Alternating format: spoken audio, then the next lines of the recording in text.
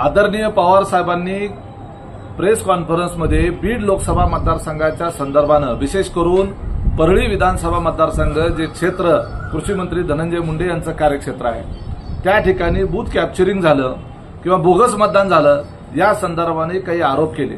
त्या आरोपाचा संदर्भ जो आहे तो कशाचा आहे?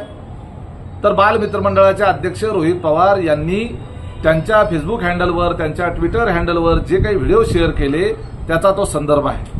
मुळातच लोकसभा मतदारसंघाचं मतदान पार पडल्यानंतर जर एखाद्या मतदान केंद्राच्या संदर्भात कुठं बूथ कॅप्चरिंग झालं असेल कुठं बोगस मतदान झालं असेल जी काही तुमची तक्रार असेल ती तक्रार दाखल करण्याची विशिष्ट अशी एक कार्यपद्धती असते. त्याचं विशिष्ट असं टाइम लिमिट असतं.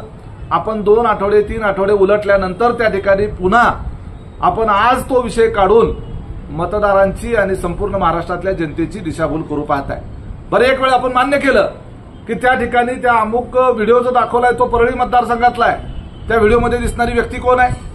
त्या व्हिडिओमध्ये दिसणारा दमदाटी करणारा महिलांना शिवीगाळ करणारा मतदान केंद्रामध्ये अनधिकृतपणे घुसलेला आणि त्या ठिकाणी फेसबुक लाईव्ह करणारा जो दाढीवाला व्यक्ती दिसतोय तो पवार साहेबांच्या पक्षाचा तुतारी गटाचा नेता आहे. हे तपासलंय का आपण? उतावीळपणे आपण व्हिडिओ शेअर केला. तो ज्याचा व्हिडिओ शेअर केलाय हा तुमच्याच पक्षाचा नेता आहे तुमचाच कार्यकर्ता आहे. हे सुद्धा व्हिडिओ शेअर करण्याच्या अगोदर लक्ष- लक्षात येऊ नये. दुसऱ्या एका व्हिडिओमध्ये एक पोलिंग एजंट जो आहे तो तुतारी गटाचा पोलिंग एजंट आहे. गवळी नावाचा तो व्यक्ती आहे. आणि हा गवळी जो आहे तो तुतारी गटाचा पोलिंग एजंट आणि तो आतमध्ये जाऊन लाईव्ह करतो. आतमध्ये जाऊन फेसबुक लाईव्ह करतो. त्याला ही परवानगी कोणी दिली? हे बेकायदेशीर काम करणारा जो व्यक्ती आहे तो गवळी तो पोलिंग एजंट आहे तो तारी गटाचा. आणि तेच व्हिडिओ शेअर करून महाराष्ट्रातल्या जनतेची तुम्ही दिशाभूल करताय. रोहित पवारांनी आजपर्यंत जे जे व्हिडिओ शेअर केले ते अशाच पद्धतीनं कुठल्या तरी एखाद्या व्यक्तीकडून आलेले व्हिडिओ हे घाईघाईमध्ये उतावळीपणाने ते शेअर केलेले आहेत. त्यामुळं एवढे मोठे ज्येष्ठ नेते असलेले पवार साहेब यांची सुद्धा दिशाभूल जे आहे हे रोहित पवार करत आहेत. आतापर्यंत पवार साहेब हे कधीही त्यांच्या कुठल्या वक्तव्यांनी त्यांच्या स्टेटमेंटनी अडचणीत आलेले नाहीत.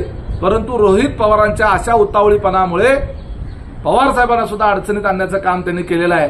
नीट जरा तपासून ते व्हिडिओ बघा आणि मग पुन्हा आरोप करा. एवढंच मला रोहित पवारांना आणि तुतारी गटाच्या नेत्यांना सांगायचं